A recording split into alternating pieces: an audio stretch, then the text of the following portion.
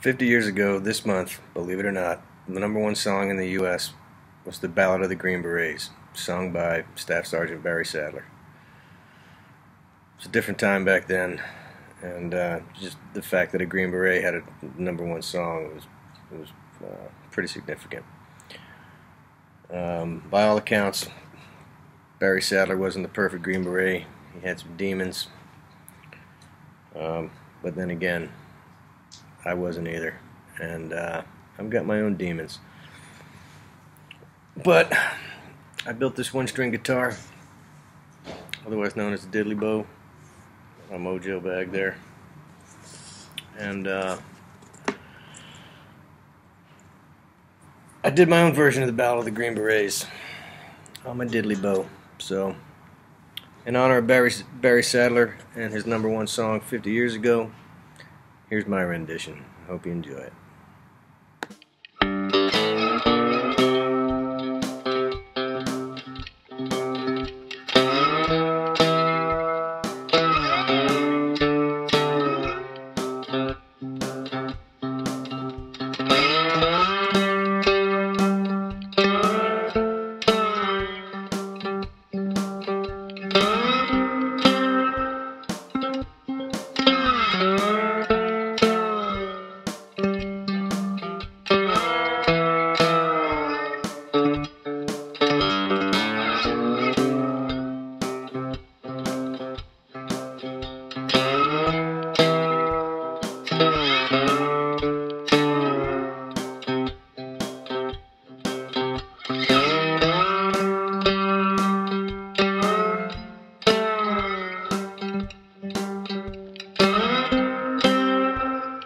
Thank you.